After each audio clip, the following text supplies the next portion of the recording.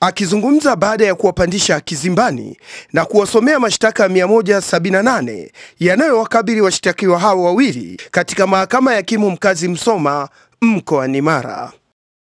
Mkurugenzi wa mashtaka ofisi ya mwanasheria mkuu wa serikali mkoani hapa, Amosi Searasto, amesema washtakiwa wote wawili wanadaiwa kutenda makosa ya uhujumu uchumi kwa kuunda genge la uhalifu na kugushi na kujipatia fedha za Kitanzania zaidi ya shilingi bilioni moja na dola za Kimarekani laki moja mali ya kanisa Katoliki Diocese ya Bunda.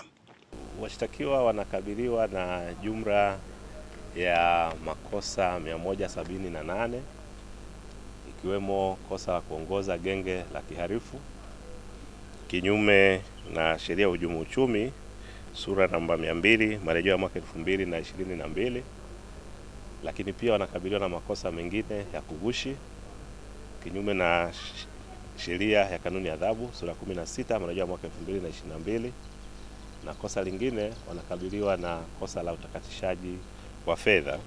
Katika mashtaka hayo 178 watuhumiwa hao kwa pamoja wanadaiwa kutakatisha fedha hizo kinyume cha sheria cha makosa ya ujumu uchumi. Kama kwa fedha za Kitanzania ni fedha ambazo waliweza kuzi, kuziiba ni zaidi ya shilingi bilioni moja na milioni sabini na tatu laki tano na themanini na tisa na shilingi mia tisa sabini na tano.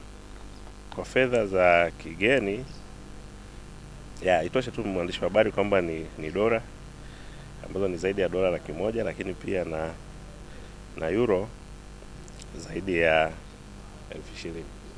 Kesi hiyo imeahirishwa hadi hapo tarehe ishirini mwezi huu itakapotajwa tena katika mahakama ya hakimu mkazi wa mahakama ya hakimu mkazi Musoma. Sadiki Unga, Star TV, Mara.